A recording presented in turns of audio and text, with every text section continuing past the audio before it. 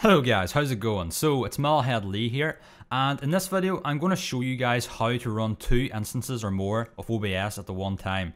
So why would you want to do this? Well, the reason I run two instances of OBS is I send one stream to Twitch and then I use the other to record a high quality local recording off my stream to my hard drive, which I can then use to upload to YouTube.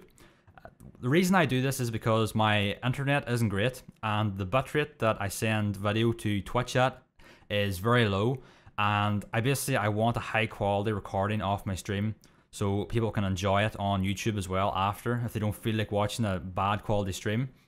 That's basically way I do it.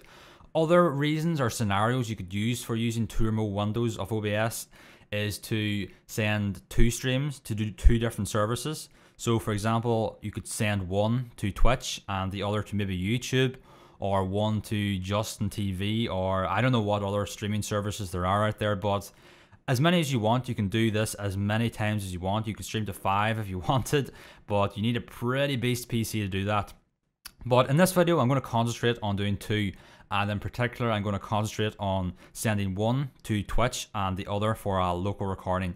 So the first thing you want to do, obviously, is download OBS and install it. You can download the 32-bit or 64-bit. Obviously, if you're running a 64-bit system, I recommend the 64-bit version.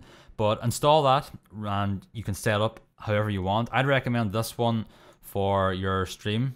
So I can go ahead and preview this. And oh, just delete that. Uh, so this is what my stream looks like. I have got my switching game stream, uh, my main window, and then the stream ending and so on. So we can close that. So you can set this up how you want. What you want to do then is download the binaries uh, of OBS. And this is basically what it looks like here. So this will download a 7-zip file, I think it is, or a zip file. And you basically want to extract this to a file somewhere on your hard drive. So this is what it comes out like here. I don't. I extracted the 64-bit version. Uh, you have both here, so whichever one you prefer. Uh, open the extracted folder and find your OBS executable. This is it right here. You can see it's got the little OBS logo to the side of it. What you want to do with this is right click and create a shortcut. And you can see the shortcut is right here. What you can then do with this is you can cut it and I'll just go to my desktop here and you can paste it to your desktop or anywhere you want if you have an OBS folder here in your desktop or a file somewhere else you can send this to. So I'll just go ahead and delete that. I already have my two here. So this is the one that's installed normally and this one is the one installed from the binaries. So what you want to do first is on your first instance, on the one that you install normally, is right click, go to properties, and right here where it says target, you want to write space dash multi. That's space dash M-U-L-T-I. And this basically means, so we'll go ahead and okay this and apply it. So what this means is you can open multiple windows off this program right now. So I'll go ahead, that's one, right there. Open it again, that's two. So we can open this as many times as you want. You can go ahead and open three, four, five, doesn't really matter. That's what that does. So what you want to do then is on your second shortcut, right click, properties, and do the same again, space dash multi, but you also need to add space dash portable. So space dash P-O-R-T-A-B-L-E.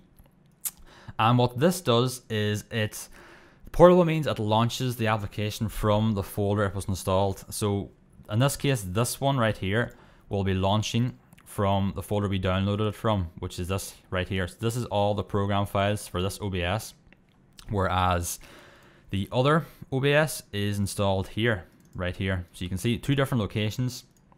So both of these programs of OBS are installed completely separately. So how to set up now to do a stream to Twitch and a stream for recording. Well, I'll go ahead and open my Twitch OBS right here. And we'll go to this and preview it. So we'll have that and we can open then the second OBS. So we'll just put that there. What we want to do then is you can do a couple different things. You can either set it up the same, so have the same scenes in your recording and have your video capture here or capture card, whatever you're using, webcam. Um, or you can do what I do and I just do a monitor capture. Uh, I find this is a little better in performance. You don't have a big hit on FPS uh, when you're playing. But this is what I do. So what you want to do then is just preview this. So I have this set to record my third monitor, which is my monitor to my left. So to get video on this, what you're streaming, you simply right click here, go to projector and whatever monitor you're using. So I'm using monitor 3, so do that. And you can see, like magic, it just pops up here.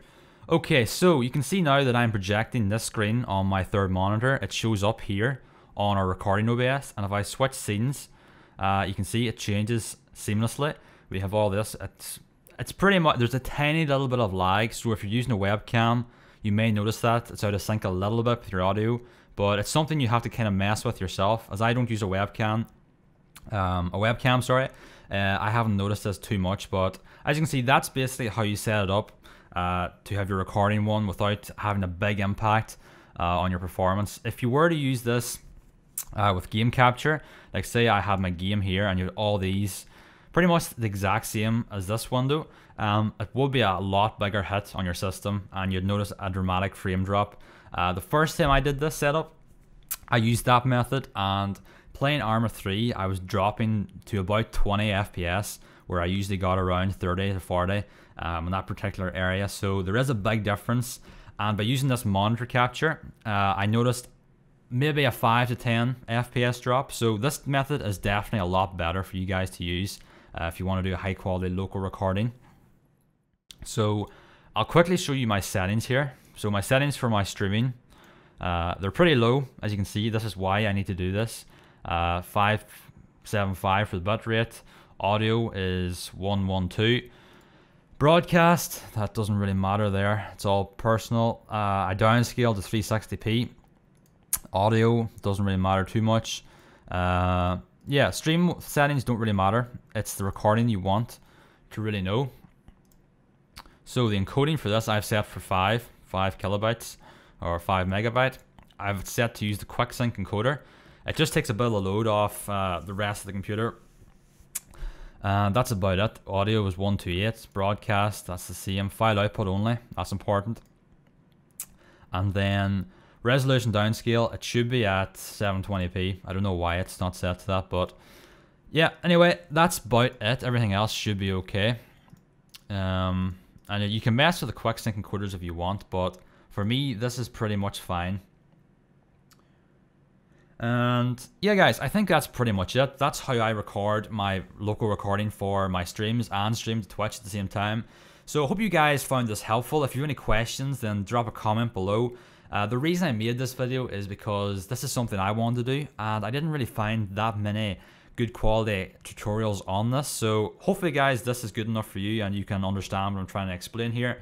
But anyway, guys, I hope you enjoyed, and I will see you in the next video.